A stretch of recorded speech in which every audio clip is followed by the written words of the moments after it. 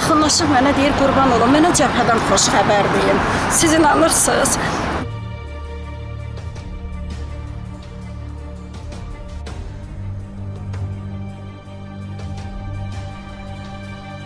Dəyərli izləyicilər, bu gün bizim müsahibimiz şəhid ailələrinə Sosial Dəstək İctimai Birliyinin sədri Almaz Zeynalovadır. Almaz xanım salamlayırıq sizi.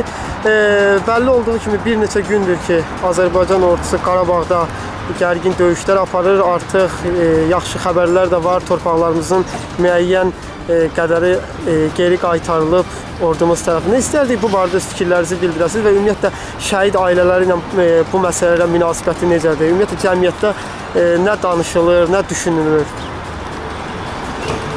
Mən də hər kəsi salamlayıram və şəhid ailələrinə Sosial Dəstək İctimai Birliyinin rəhbəri olaraq çoxsaylı şəhid ailələri adından Ali Baş Komandana bu verdiyi döyüş fərmanına görə dərin təşəkkürümüzü bildiririk.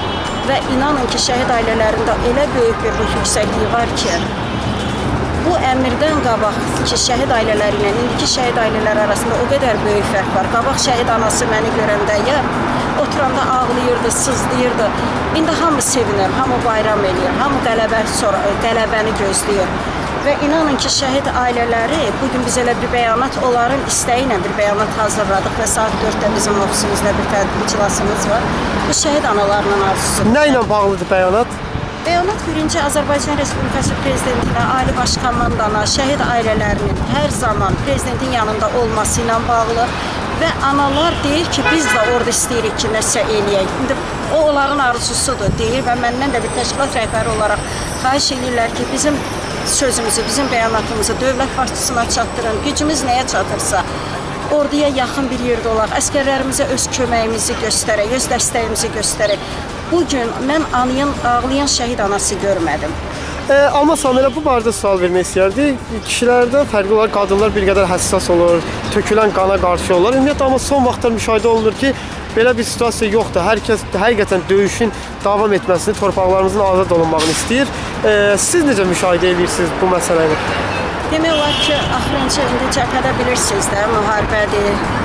Təbii ki, müharibə gedən ölkədə itki də ola bilər və bizim də şəhidlərimiz oldu. Biz o şəhidlərin gücümüz çatan qədər bir neçəsinin evində olduq. Mən Mehdabad Binəqədi qəsəbəsində bir şəhid ailəsi, şəhid gəlmişdi. Mən o evdə oldum. Və getdim, anıya təskinlik verdik komandamızla, yəni şəhid ailələri adından getmişdik. Orada ana ağlayırdı, təbii ki, ağlayırdı və səhərsi 3 mərasimi idi. Biz yenə ora gedəsi olduq. Siz inanın ki, mən həmin gündən bu günə qədər mən bilmirəm sevinimmi, bilmirəm, yəni millətimə o qədər vurğunam. Bir ara fikirləşirdim ki, nəsə biz biraz soyuq millətiyik, biraz torpaqlarımız gec alındı. Nəsə də elə bilirdim arxayınçılıq var, amma mən o qadını görəndə tək o qadını yox. Siz inanın, mən 3 günü, yəni şəhidimizin Atayev Nicatın, Allah rəhmət eləsin. Üçü günü biz ora getdik və oradan dedilər ki, Rəsmiyə xanımdır, xanımın adı, ananın adı. Deyir, Rəsmiyə xanım gəlin, Almaz xanım gəlib. Hazır deyildim, dedim, ay Allah, yenə gələ, ağlayar, anadır da, ağlamalıdır.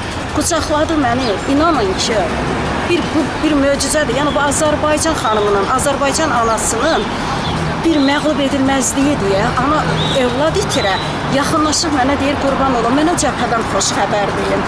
Siz inanırsınız? Mən həmin gün elə bil yasda deyildim. Həmin gün elə bildim Azərbaycan yenidən doğuldu. Elə bildim ki, artıq doğrudan 100% qələbə onsuz da bizimlədir. Həmin günü mən qələbəmi elə bildim. Və e, sonuncu sualımız təbii ki, müharibədə hər zaman e, biz tərəfdən də şəhid olması normaldır. Yaralılar da olacaq. Bu müharibənin qaydasıdır. E, necə düşünürsüz? E, təxminən nə vaxta qələbə gözləyirsiniz? Ümumiyyətlə bu müharibənin sonunu necə görürsüz siz bir ictimai birlik sədri olaraq? Çox böyük ümidlə yaxın bir vaxtda qələbənin bizim xeyrimizə, torpaqlarımızın son qarışına qədər işğal işğaldan azad olunmasını gözləyirik və elə böyük bizdə, biz şəhid analarında, biz şəhid ailələrində, bir zabit anası olaraq deyirəm, bir şəhid ailəsi olaraq deyirəm, çox böyük bir ümid var ki, lap yaxın gələcəkdə biz torpaqlarımıza qovuşacağıq. Hamımız o belə deyək də işğal altında qalan rayonlarımıza gedib orada Azərbaycanın bayrağı taxılacaq və bax onda şəhid ruhları bir azadlıq tapacaq, narahat şəhid ruhları. Təşəkkür edirəm. gəldiyimiz şəhid ruhları bir rahatlıq tapacaq. Artıq şey onlar 27-sindən bu yana artıq ola ki, onların ruhları bizləndir və onlar bu qələbəni bizdən də çox hiss edirlər. Təşəkkür edirəm. Biz təşəkkür edirik.